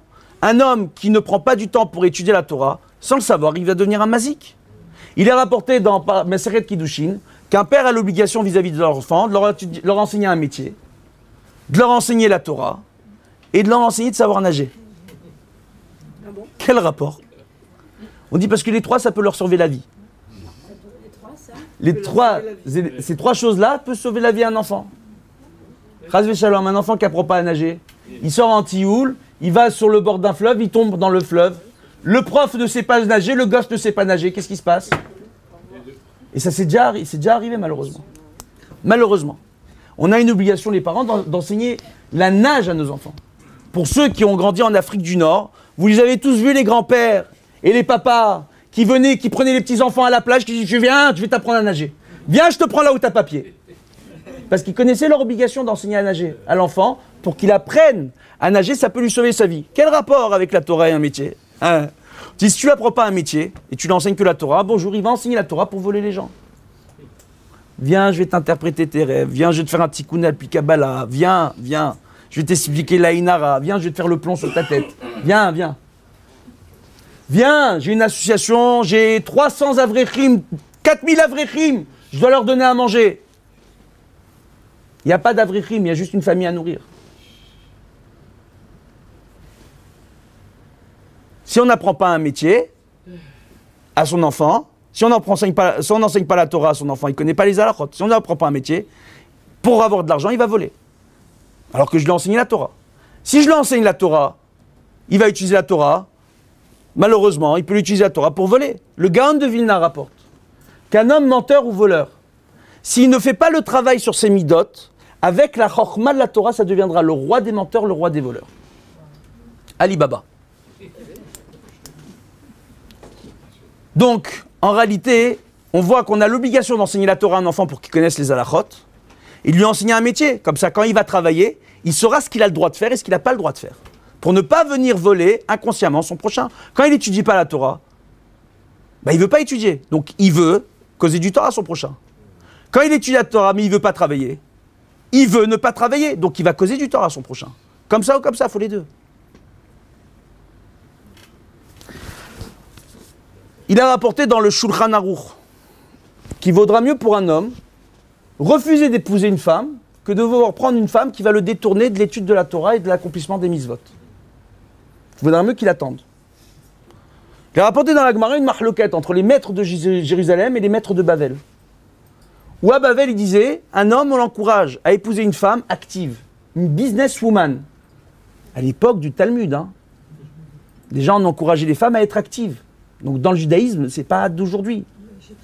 C'est ce qu'expliquait le rabbi de Lubavitch dans les années 60. Il dit Mais qu'est-ce que vous avez les femmes à vouloir brûler des soutiens-gorge pour gagner le droit d'imiter les hommes? Vous ne pourrez jamais être comme les hommes. Vous allez toujours enfanter des enfants.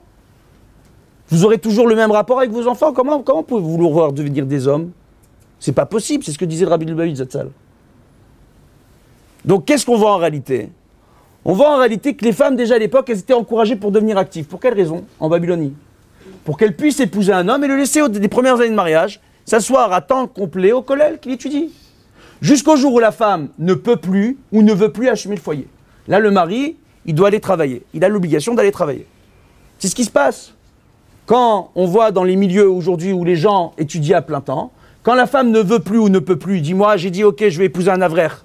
Mais aujourd'hui, Baruch Hashem, on a trois, on a quatre, on a cinq, on a plusieurs enfants. Je termine par cinq, je fais exprès, pas parce que je suis tunisien. Maintenant, qu'est-ce qu'on voit? On voit on a plusieurs enfants, d'accord? Je peux plus ou je ne veux plus. Le mari, on lui dit, tu es obligé d'aller travailler. Obligé d'aller travailler. Vous savez ce que dit Bien sûr. Bien sûr, madame. Vous savez ce que dit le, le Kanievski? Il dit, vous savez, là, on est dans une période où tout le monde doit faire teshuva. C'est pas une période où les barbus, ils sont à l'abri. Comme je l'ai expliqué au début. Non, tout dépend de la même de chacun. Tout dépend de la façon de considérer son prochain, de considérer les rabbins des autres, de considérer l'autre. On voit que il sera plus difficile pour une famille de devoir affronter les mauvaises fréquentations pour son famille que d'affronter Gog ou Magog. Où est-ce que c'est rapporté? Sur la Masechet Brachot. Siman Yud par le Rahavia. Qui est le Rahavia? C'est un Rav qui a vécu en 1140, 1140, en Europe de l'Est, qui s'appelle Rabbi Eliezer Bar Yoel Alevi, fils de grand rabbin, petit-fils de grand rabbin, etc. Il rapporte Brachot, Siman Yud qu'en réalité, par rapport aux enseignements, quand on parle là-bas dans la Gemara, on parle de fait de, recevoir. Il y a, il y on nous dit là-bas, prends sur toi la galoute, où les maîtres ont tous des mal de dos, et on essaye de les rassurer, et on voit qu'il y en a un d'un seul coup qui arrive à supporter la douleur des autres. On dit comment tu fais? Il est dit parce que moi j'ai pris sur moi la galoute, j'ai accepté que je suis en galoute. Et j'ai accepté que je dois ramener la Géoula dans ce monde. Et j'ai accepté que ça va être difficile. Accepter la galoute. Accepter que dans ce monde, vous êtes ici pour faire tes chouvas, faire Torah misvot. Vous ne l'acceptez pas qu'est-ce qui se passe? Chazvé shalom, mauvaise fréquentation à la maison.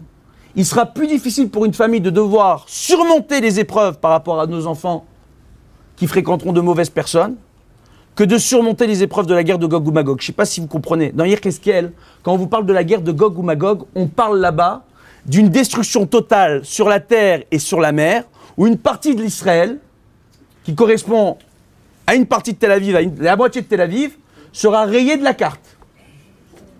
On interprète cela comme une attaque peut-être nucléaire. Peut-être. On parle de destruction totale. Dans les mers et sur terre. On vous dit ça, c'est moins grave que la souffrance chaque jour dans votre chair de voir votre enfant se détourner de vous. C'est moins dur. Pourquoi? Parce que l'essentiel, c'est comment vous, vous vivez en tant que personne. Par rapport à Dieu. Sur le chemin qu'il nous a donné. Parce que c'est le patron de ce monde, il nous a donné un mode d'emploi. on voit hein,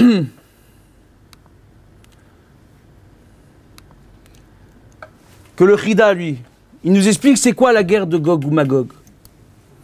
Il dit que Chazal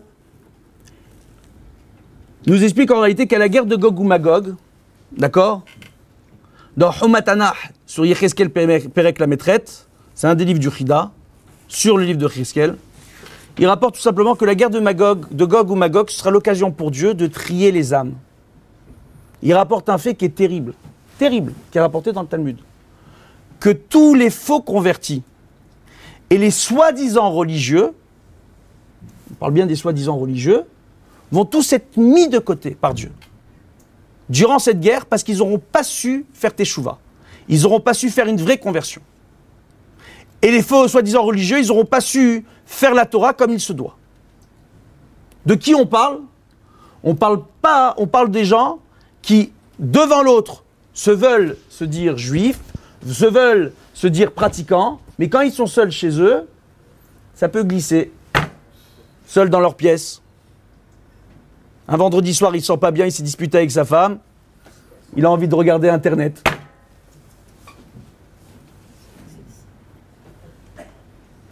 Lui et Sahara existe, madame. Pour tout le monde. Mieux que d'aller voir une autre femme. Hein? Pardon? Que d'aller voir une autre femme. Vous n'avez pas tort. Vous n'avez pas tort, mais c'est pas top non plus. Comprenez ce que je suis en train de vous dire? Le, mieux, c'est d'arriver de s'arranger. D'accord? Et puis il faut pas oublier, c'est terrible ce que je vais dire, c'est que parfois le divorce, le guet, ça reste une mise de la Torah. Donc ça a été prévu. Et dans le Zohar, on explique les différents mazals, etc. C'est un autre cours, c'est un autre sujet. Comment on peut divorcer en ayant épousé le bon mazal à une époque et que son mazal change en cours de chemin? Qu'on doit divorcer de son mari ou de sa femme pour épouser quelqu'un d'autre. Ça existe, on en parle dans le Zohar. Donc, comme je le dis, je m'occupe beaucoup de Shlombaïd. Je dis quand on ne s'entend pas avec son mari ou sa femme, on ne le maltraite pas. Ou on ne la maltraite pas. On le quitte ou on la quitte. Si on n'arrive pas à s'arranger. Donc, il y a on va, on va continuer. On voit dans Harbe Psachim, dans la Gemara, dans Maseret Psachim d'Avkouf Yutret, il est rapporté là-bas, au nom de Rabbi Ochanan, qu'il y a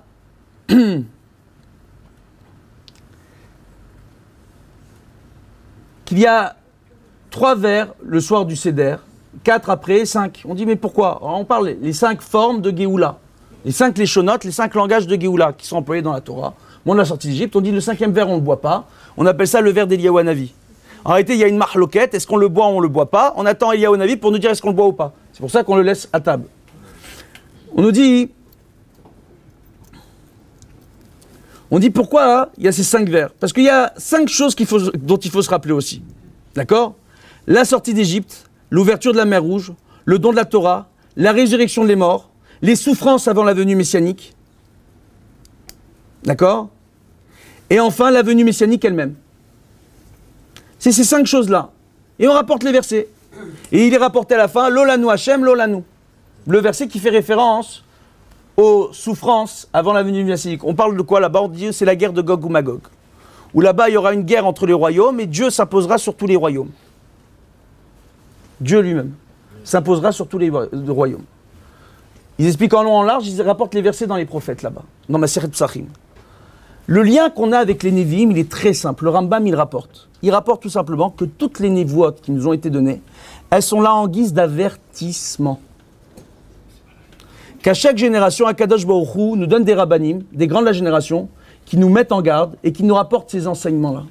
Et qui savent les interpréter. Et qui savent nous mettre sur la bonne voie pour amener Mashiach. Mais le but, c'est pas d'arriver à une guerre. Le but, c'est d'arriver à éviter les guerres.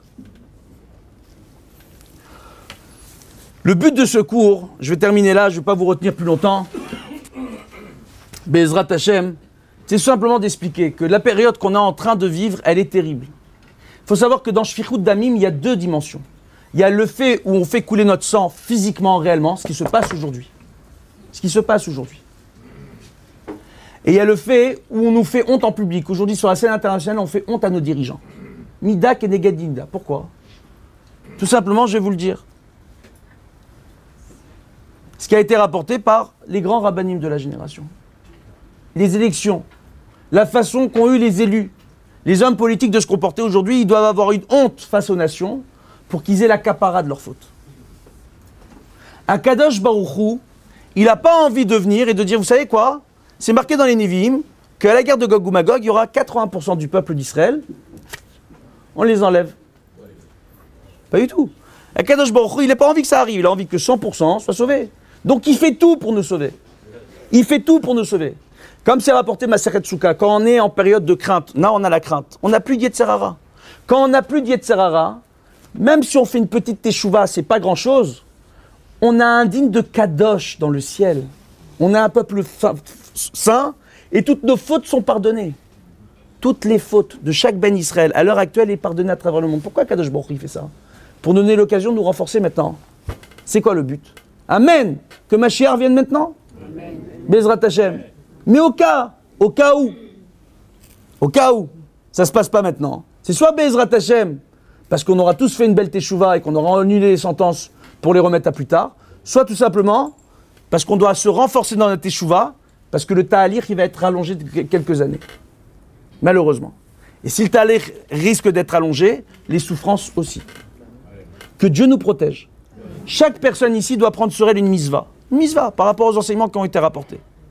Il a rapporté une chose extraordinaire. On rapporte dans les prophètes que un avis viendra au monde de la Géoula pendant trois jours. On entendra sa voix d'un bout à l'autre du monde, il dira Mashiach arrive, préparez-vous. Mashiach arrive, préparez-vous. Mashiach arrive, préparez-vous. Troisième mot, Mashiach arrive. Durant cette période-là, tous les Réchaïm vont dire C'est bon, j'ai fait Teshuvah. Mashiach, il arrive, c'est que c'est bon, on est au top. Mon niveau suffit ils vont arrêter de se renforcer. Mashiach, il va arriver, il va leur mettre une tannée. Quand on dit Mashiach arrive, c'est bien. C'est très bien. Mais il ne faut pas arrêter de se renforcer. On n'est jamais assez au top. Même les rabbins. Personne, on doit tous en permanence se remettre en question. Dans l'agma, on dit quelle est la différence entre le tzaddik et le rachat? Le fil du rasoir. Le fil du rasoir. C'est la différence entre un tzaddik et un rachat. Vous avez vu déjà un cheveu? Un fil de rasoir, comment c'est fin? À un moment donné, on peut être un tzaddik, faire cette fila, mettre cette filine, étudier toute la journée, etc. Et puis à un moment donné dans la journée, on nous appelle et boum, on a glissé, on a fait du lachanara sur quelqu'un. Toute la journée, tu étais un tzaddik. Quand tu as glissé, tu es devenu un rachat. On est tous concernés. Heure par heure, minute par minute, seconde par seconde, notre dîne est différent de la seconde précédente. Notre mazal change à partir de ce moment-là. Israël met à la mazal, notre destin, il est influencé par nos actes. Tout dépend de nos actes. Donc quand on vous donne des dates devenues messianiques, ça peut se passer réellement, comme ça peut changer parce que notre dîne de seconde en seconde change. Quand on va voir un rave qui nous explique qu'on a tel problème dans le ciel, c'est vrai sur le moment où il me le dit. Mais si je décide de faire teshuva et de prendre quelque chose sur moi, ou de, au contraire, de me détourner de la Torah, mon dîne va changer dans le ciel. Et ça ne marchera pas forcément. C'est pas Dieu qu'il faut remettre en question. C'est pas le Rav qu'il faut remettre en question. C'est moi qui dois me remettre en question. Je suis responsable de mes actes. Rabbi Yoshua Levi, elle est connue l'histoire. On va terminer là-dessus. Où il a eu le mérite d'avoir Eliyahu Navi à son époque, à l'époque de la Gemara du Talmud. Il a vu Rabbi Yoshua Levi, il a vu Eliyahu Navi qui se dévoilait à lui. Il lui a posé la question, la question il dit Dis-moi, Mashiach, il est où? Il dit Il est aux portes de la ville. Ah, il est aux portes de la ville? Parce que quand est-ce qu'il vient? Va le voir. Il dit Mais comment je le reconnais? Il dit À la porte de la ville, il y a tous les pauvres qui sont tous blessés. Tous les pauvres enlèvent tous leurs pansements et changent tous leurs pansements d'un coup. Lui, il enlève pansement par pansement. Il se soigne et après il remet. On dit c'est quoi ces blessures? C'est révélé à Mashiach, les souffrances de Mashiach que nous, nous ressentissons. Mashiach, il les ressent dans sa chair. Il les ressent dans sa chair. Qu'est-ce qui se passe? Il se passe qu'il va aux portes de la ville, il trouve cet homme, il dit quand est-ce que tu viens? Il dit aujourd'hui. Super Il rentre, il met son beau costume blanc pour accueillir Mashiach, il met la table, il nettoie la maison. Le soir arrive, Mashiach n'est pas venu, le lendemain matin, pas de Mashiach. Il va voir Eliyahu Eliyahu lui dit Ah, va le voir. Il retourne le voir, il dit Quand est-ce que tu viens? Aujourd'hui. Et chaque jour comme ça, et Mashiach ne vient pas. Il dit Mais attends, tu viens ou tu viens pas? Tu te moques de moi ou quoi? Tous les jours, je nettoie la maison, je mets le costume blanc. Faut le nettoyer le costume blanc. À la fin, qu'est-ce qu'il lui répond? Qu'est-ce qu'il dit? Il dit aujourd'hui je viens, si vous écoutez la voix de Dieu. C'est tellement facile et tellement difficile. Tellement facile et tellement difficile. Des mises-votes tellement faciles à faire. Le Olam qu'elle nous rapporte, mettre les tzitzit. Des fils en laine aux quatre coins de nos vêtements. Ça me rapporte quoi comme misva? Mettre le kissouille roche pour une femme. Allumer les nérotes de Shabbat. Manger cachère. On ne se réalise pas à quel point le mérite que ça peut nous donner. Quel point Quel point dans le ciel ce mérite-là est grand. Akadosh Baruch Hu, il voit aujourd'hui. À Natania, vous pouvez faire le tour. Vous avez le mérite d'avoir une cacheroute ici au niveau de la Rabbanout exceptionnelle. Je vous le dis. Quand vous voyez Khalavi cacher la méadrine, c'est la méadrine. Et je peux vous dire, les rabbinim à Natania, ils leur font la misère dans les restaurants. Pour être sûr que ce que vous mangez, c'est cachère. Quand c'est marqué cachère la méadrine, bah au Hachem. Après, il y a des niveaux de cacheroute. Il y a ceux qui mangent, il y a que ceux qui ne mangent pas. On ne peut pas venir dire que c'est pas cachère. C'est pas vrai. Ce n'est pas vrai. Il y a aujourd'hui, il y a des études, il y a des vérifications qui sont faites. Il y a une minorité de problèmes pour une majorité de viande cachère. Après, il y a des niveaux de cache-route. Il faut arriver à le comprendre. Baruch Hashem, le nombre d'endroits où on peut manger cachère, le nombre d'endroits où on peut prier, le nombre d'endroits où on peut étudier la Torah, c'est Dieu bénisse. Kadosh Baruch il voit tout ça, il dit Mais moi j'ai envie de vous faire tous des chouvas, les enfants. Je vais vous envoyer des épreuves pour que vous vous réveillez. Quand nous on vit dans l'angoisse, quand nous on vit dans la peur, Kadosh Baruch il nous pardonne toutes nos fautes. Quand on vit dans la simcha, le Yetzerara, dans la simcha, c'est là qu'il vient qui se renforce. Dans la simcha, on se dit est-ce que je fais le mariage mélangé ou pas mélangé? Et combien de fois, moi, jeune, j'ai assisté, j'ai entendu parler d'histoires où il y a un jeune célibataire qui a un peu bu, qui a vu la femme du frère qui était en train de danser, elle est venue, elle, elle dansait normal. Bon, elle n'avait pas de manche, mais elle ne s'est pas habillée mal, réellement. C'est pas selon les règles de la pudeur de la, loi juive le top du top. Mais elle s'est pas habillée mal. Et le garçon, il vient, il lui caresse. Combien d'histoires comme ça Yetzerara, je fais mixte ou pas On mélange ou on mélange pas Dans les smahot, il y a le. Dans la crainte, il n'y a pas de Yetzerara. Il n'y a pas de Yetzerara. On ne se pose pas la question hein. quand on quand on perd son, son quelqu'un de la famille qu'on arrive, qu'on doit enterrer, on doit faire le espèce. Quand le Rav disent les femmes ici, les hommes là, personne ne discute. Dans le mariage, quand le Rav va dire les femmes ici, les hommes là, tout le monde discute. Pourquoi il a rapporté? Dans, en cas, dans les périodes de malheur, il n'y a pas de Yetzerara. Il n'y a pas de Yetzerara. C'est Akadosh Baruch c'est ça ce mérite qu'il veut nous donner. C'est ce mérite qu'il veut nous donner. Il nous donne une occasion exceptionnelle de pouvoir faire Teshuvah pour amener Mashiach. Notre rôle à nous, c'est de faire passer ce message. Que Mashiach Bezrat Hashem, on va le ramener. Amen. Bezrat Hashem. Non seulement ça, mais on va le ramener dans la joie et dans la paix. Pour nous et toutes les nations. Bezrat Hashem. Voilà.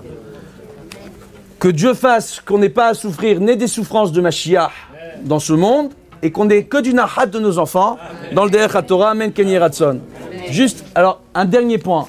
Il est, il est connu aujourd'hui que tous les rabbinim ont dit que Gmilut Rasadim, comme j'ai rapporté dans la Gemara, au nom de Rabbi Yezer Agadol, Gmilut Rasadim, c'est ce qui peut sauver son prochain. Gmilut Rasadim, c'est quoi?